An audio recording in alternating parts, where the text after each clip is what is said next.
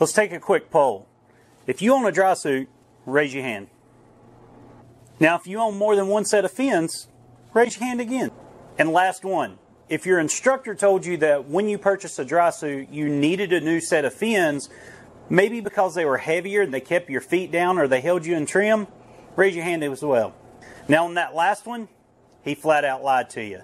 And in today's video, we're going to show you why.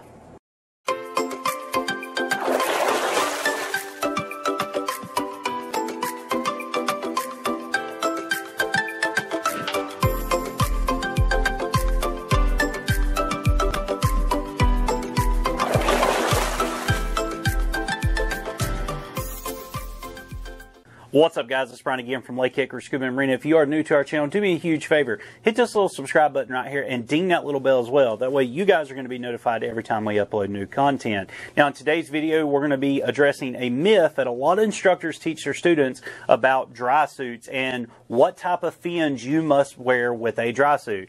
Whether they claim it helps hold you in trim or it just helps pull your feet down so you don't get inverted, we are going to be addressing those situations in the pool tonight and we're going to be using two different dry suits, both a neoprene and a tri-laminate dry suit, and we're going to be using four different types of fins.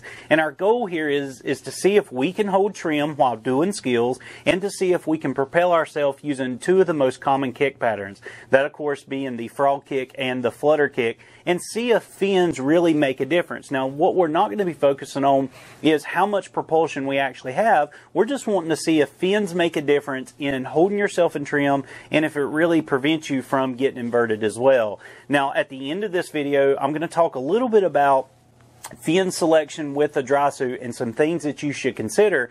But the last thing I would ever try to do is to tell you there's only one type of fins that you should be diving while diving a dry suit. So with that being said, let's head over to the pool, let's jump in, and let's see if we can control our trim and our buoyancy in a dry suit with multiple types of fins. Alright guys, before we get into today's experiment, we are going to be using four different types of fins. And even though the weight of these fins, in all honesty, is irrelevant to what this video is about, I do want to show you the four fins, and we're actually going to weigh each of these fins just to see what they actually weigh. So the first one that we're going to look at, of course, is the Mares Avanti Quattro. Now, don't worry about brand. All these are going to be Mares's, but I'm going to be comparing them to other fins, and you'll see throughout this video why the weight, in all honesty, is irrelevant. But the Mares Avanti Quattro, which is a very popular fin for both recreational and technical divers, this is going to be pretty consistent with just about any paddle fin out there. So it's going to be pretty consistent as far as how they operate in the water. But if we weigh it real quick, we can see that it's coming in around 2.2 pounds. So you're looking at 4.4 pounds for a pair of them.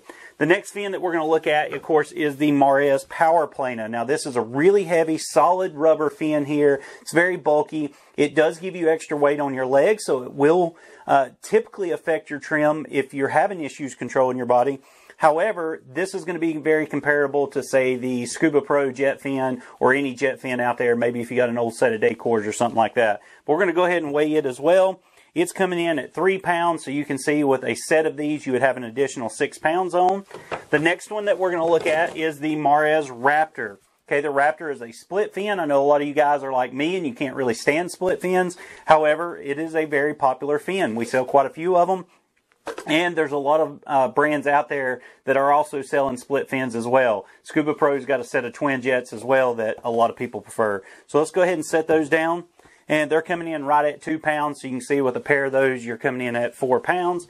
And then, of course, the last one that we're going to look at are the Mares X-Streams. Now, the Mares X-Streams are an extremely lightweight fin. They have the OPV or the Optimizing Pivotal Blade. A good comparison to this would be the Scuba Pro or the Scuba Pro Seawing Novas, um, but they are basically just a bladed fin that's got a pivot. They're really designed for uh, flutter kicking only I mean, you can frog kick with these, which you'll see throughout this video. They're just not very efficient as well, but they are lightweight. A lot of people choose these for travel because of how lightweight they are. And it's not even scheduling in at a pound. Let's see if I can get it. Yeah, it's not even coming in at a pound. So you can say with a set of these, you're probably not even adding a pound, maybe a pound and a half max. So with that being said, let's go take these fins to the pool. Let's jump in and let's see if they really make a difference while wearing a dry suit. All right, guys, so before we get over to the pool, I do want to discuss one thing real quick.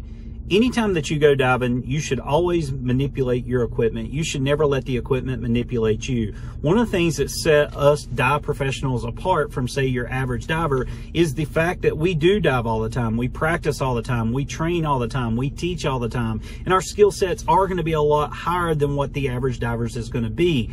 But we can also make any equipment work for us. So if I take a different mass than what I'm used to, I can simply put it on and go dive. If I change out from a backplate and wing to a jacket style, I can simply put it on and go dive. It doesn't affect me in one way, shape, or form. If I decide to change fins, even without any practice, more than likely I can put on a new set of fins and make them work for me because I've learned over the years that you don't need a crutch to go scuba diving. A crutch is anything that's going to assist you when you lack the skill or the ability to do something with a lot of practice, you can do everything that you're going to see me do in this video without the need for a crutch. Now, should we ever not dive with a crutch? Well, no. If we can use a piece of gear that keeps us safer underwater, it makes our dive more enjoyable and just flat out more fun, then yes, we should be diving whatever equipment that we deem is necessary for us when we're underwater. Not what our instructor says, not what the dive shop that we go to a lot says. We should wear the equipment that makes us feel the most comfortable when we're underwater and what assists us and makes our dive more enjoyable and more fun as well. So with that being said, we're going to jump out here at the pool and I'm going to show you that you know, you can use any set of fins with a dry suit and dive efficiently and safely. All right, guys, for the first test, I will be wearing a neoprene dry suit, and I'm going to be using the Mares Avanti Quattro fins. These are probably my favorite set of fins. I absolutely love these fins. I wear them for just about all the types of diving that I do. Um, but what I'm actually testing here is two things.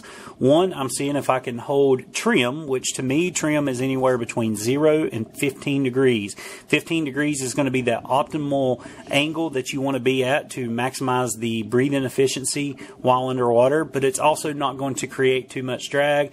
A lot of people think you want to be perfectly at zero degrees, and that's not the case. That puts way too much strain on uh, your neck as you try to lean your head up to see where you're going. So that 15 degree angle is where you really want to be at when you're under, and that's what you're seeing in this video here. I'm at a 15 degree angle. Now you can also tell I'm not having any difficulty staying horizontal. Um, my feet ain't getting floaty or anything like that, so I'm not going inverted. And whether I'm kicking frog kick or flutter kick. I can even stop mid mid dive and do a simple skill like this. So the um, Avanti Quattros are going to be a great fin if you dive a dry suit.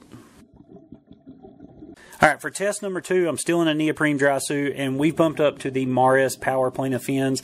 These fins here are a whole lot heavier than most because they are solid rubber, and I actually wear these for a lot of public safety diving and salvage diving just because they are so heavy and they are durable. They, they are basically bulletproof, if you will. Now, please don't go try to shoot it, but they are bulletproof in a sense that it takes a lot to damage these fins. So for any type of hardcore diving like that, that's the choice I'm going to go with. But even though they're heavy, you can still see I'm not having any difficulty whatsoever holding that 0 to 15 degree angle in my trim, and I'm having zero difficulty propelling myself through the water, so they're going to be great as well. Now, we've tested, of course, the frog kick and the flutter kick here. One thing that I want to do is I want to make sure that I can stop and still do a skill set without those fins becoming either one too heavy or two too light, causing an inversion uh, with myself in the dry suit. So we're going to stop here. We're going to do a quick just mask on and off, see if I can hold trim the whole time. My feet's not getting too heavy, and of course, they're definitely not getting too light. I'm not getting inverted in any way, shape, or form.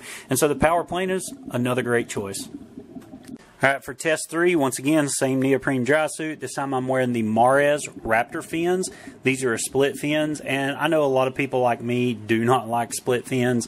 Um, we actually did a test with these fins. We actually compared quite a few. I'll link that test video down below and up top for you if you want to go check it out. And we actually tested the efficiency of split fins as well. Uh, I was actually shocked, even though I'm not a huge fan of them. They were very efficient in the water, depending on the kick pattern that you use. But as you you can tell here, for the purpose of this test, I'm having zero difficulty holding trim. Uh, even though the fins are relatively light, I'm not having any difficulty in uh, staying horizontal and not becoming inverted because of it. Um, as far as ease of kicking here, yeah, just like the split fins are designed for. I'm not having any difficult kicking as well. So as far as dry suit use with split fins, I personally haven't found any problem problems with them whatsoever. I can hold trim, I can be in the middle of the water column here, do a basic skill set. So yeah, split fins are going to be good for dry suit use. All right, test number four. Once again, neoprene dry suit. Now we're using the Mares X-Streams. The Mares X-Streams is a very, very lightweight fin. Um, they are great for travel because they virtually don't weigh anything.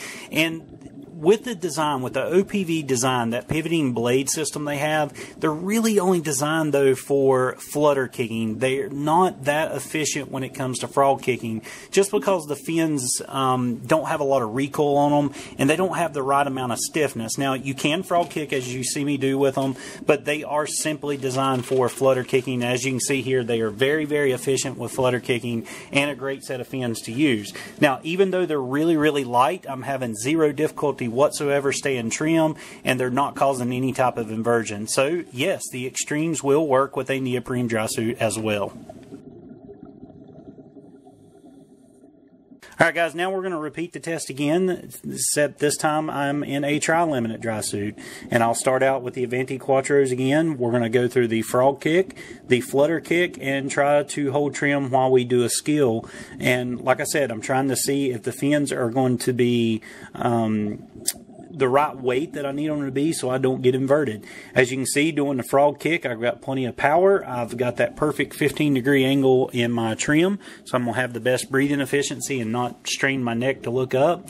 Um, as I switch over to the flutter kick, you can see I still got that perfect angle and I'm able to move through the water column, have zero issues whatsoever with the fins being too heavy and dragging down or being too light and causing an inversion. And of course, I will stop here in just a second and try to do a skill while neutrally buoyant, just to show you that these fins are going to work great. Even with a tri-laminate dry suit, I can do a skill without going inverted simply just by being there.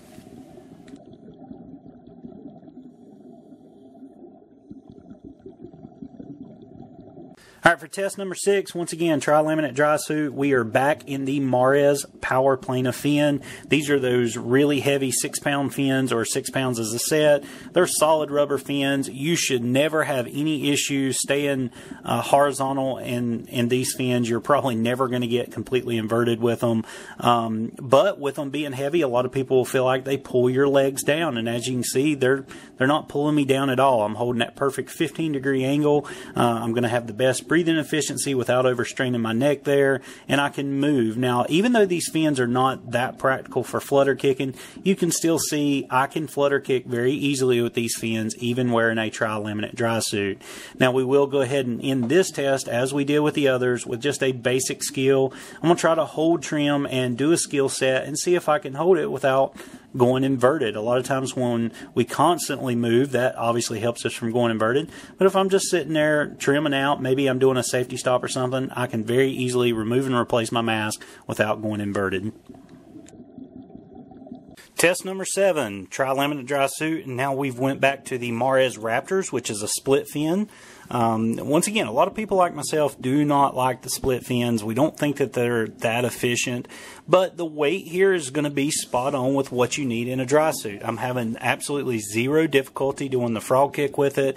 Um, I'm able to hold that 15 degree perfect angle that we need to be in, and I can move through the water column without going inverted or without my feet actually dropping. So the Raptors are going to be good to dive a dry suit, especially a tri-laminate dry suit like this.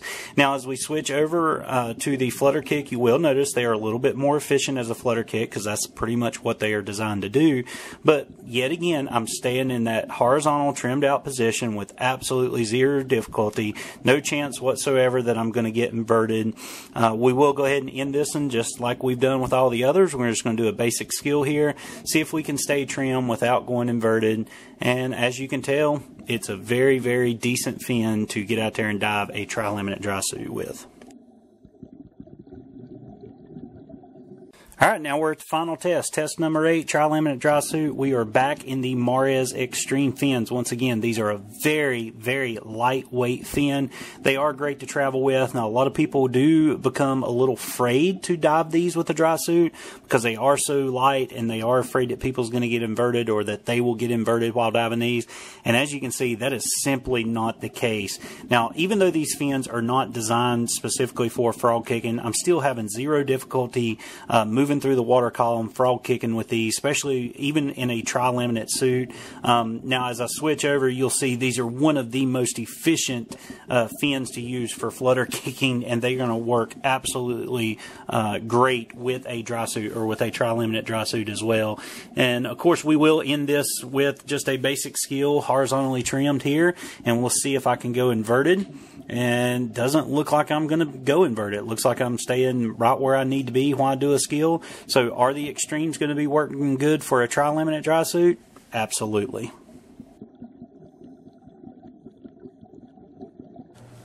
So as you can see, guys, there's the results. Not only was I able to hold trim and do skills with all four sets of fins and both dry suits, I also didn't have any trouble with the flutter kick or the frog kick regardless what I was wearing. So guys, what's the whole purpose of this video? I want you guys to understand that you need to be able to manipulate your equipment, not let the equipment manipulate you. Once you've mastered a skill set, it really doesn't matter what you wear. When you go to purchase a set of fins, make sure that they fit. If you have a dry suit that has bigger boots and you need a new set of fins because it's got a bigger foot pocket, then buy you a new set of fins. But please don't go out there and buy a new set of fins just because your instructor told you you can only wear one set of fins when you're in a dry suit because that is simply not the case and it's not true neither.